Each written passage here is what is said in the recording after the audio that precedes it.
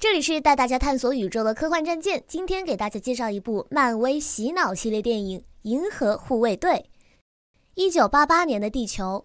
年幼丧母的彼得承受不住巨大的打击，带着母亲给他留下的一卷流行金曲磁带，跑到了空地上，却被掠夺者巨大的外星飞船掳走。二十六年后的废弃星球上，面具人星爵，也就是当年那个被掳走的小男孩彼得，在这里找垃圾。而他找的这个垃圾，是宇宙黑社会头子灭霸也在寻找的具有无穷能量的宝石。当年将星爵掳走的掠夺者要求他赶紧将宝石带回去，星爵没有听他们的话。掠夺者当即发布悬赏，下令追杀星爵。另一边，跟山达尔人有着世仇的克里人罗南，为了报复，选择跟灭霸联手，答应帮他找到宝石。事成之后，灭霸在帮助他毁灭达尔星。现在大家都知道宝石就在星爵手里，他立刻要求灭霸之女卡魔拉去夺回宝石。但是卡魔拉有自己的计划，她并不是灭霸和罗南的傀儡。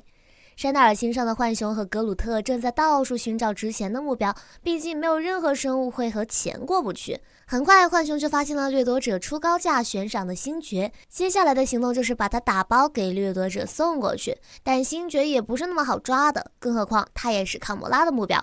三队人混乱的打成一团，然后通通被山达尔星的警察抓起来关进了监狱。因为灭霸和罗南凭借自己的能力肆意摧毁星球，导致宇宙中到处都是妻离子散、流离失所的人，监狱里也不例外。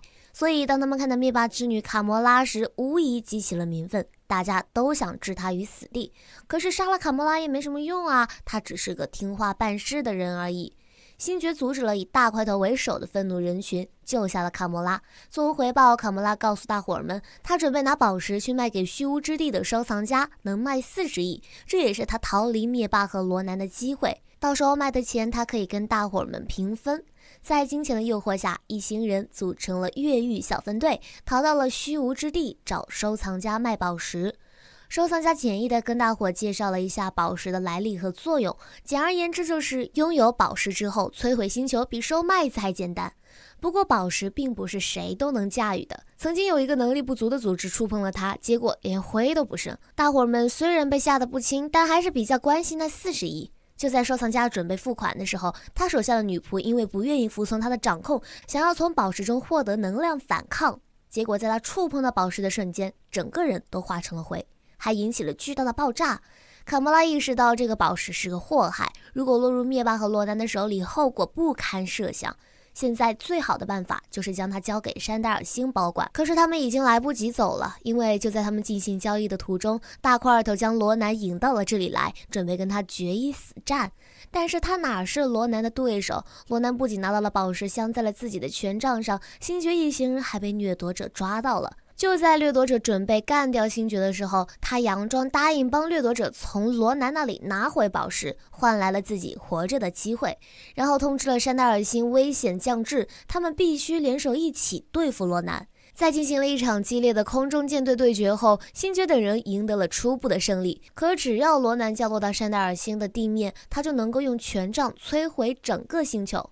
星爵等人立马登陆罗南飞船的缺口，跟他的手下进行了一场大战，一路打到了罗南面前。但他们完全不是宝石的对手，罗南不费吹灰之力就能把他们全部打飞。飞船直直地坠向地面，格鲁特为了保护大伙儿，用身体挡住了这次冲击，牺牲自己保护了所有人。拥有宝石的罗南已势不可挡，星爵自知没办法打过他，于是就有了站出来邀请他斗舞的名场面，目的就是为了让他分心，然后击碎他的权杖，抢到宝石。可是他的凡人身躯不足以承受宝石的能量，眼看星爵就要灰飞烟灭，卡莫拉等人站了出来，和星爵一起承受宝石的能量，顺便消灭了罗南，然后将宝石重新封存，拯救了整个地球。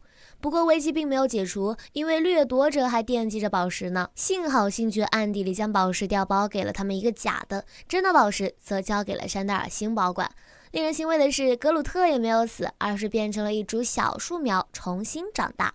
接下来，由星爵、卡莫拉和浣熊等人组成的银河护卫队将继续在太空中大加解释啊，不是惩恶扬善。